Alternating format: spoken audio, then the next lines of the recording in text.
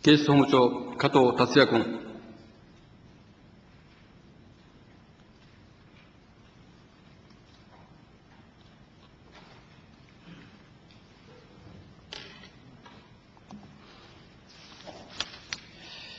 辺野古新基地建設問題に関するご質問の中で、キャンプシュワブゲート前の警備についてお答えいたします。県警察では、キャンプシュワブ前における危険かつ違法な抗議行動に対しては、あらかじめ警告を行った上で、違法状態を解消す。るため、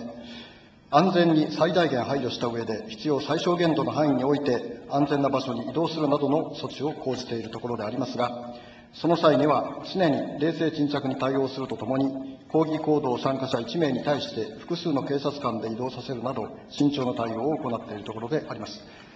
また、現場において、怪我人や体調不良者が発生した場合には、その都度、安全な場所に移動させた上で、救急車を要請するなどの必要な措置を講じているほか、取扱警察官等からの状況確認等も行っておりますが、警察官が怪我をさせたということは把握しておりません。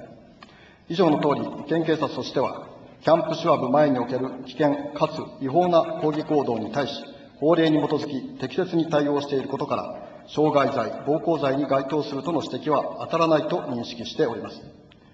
次に、警視庁機動隊の派遣につきまして、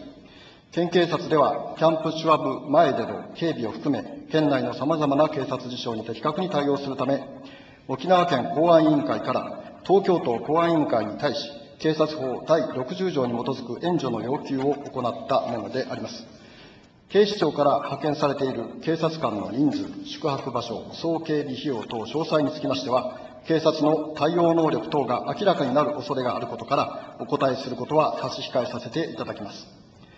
キャンプシュワブ前における県警察の職務遂行に際しては、不偏不当かつ公平忠誠を旨とし、現場における安全確保とトラブル防止のため、安全に最大限配慮した上で、適切な措置を講じているところであります。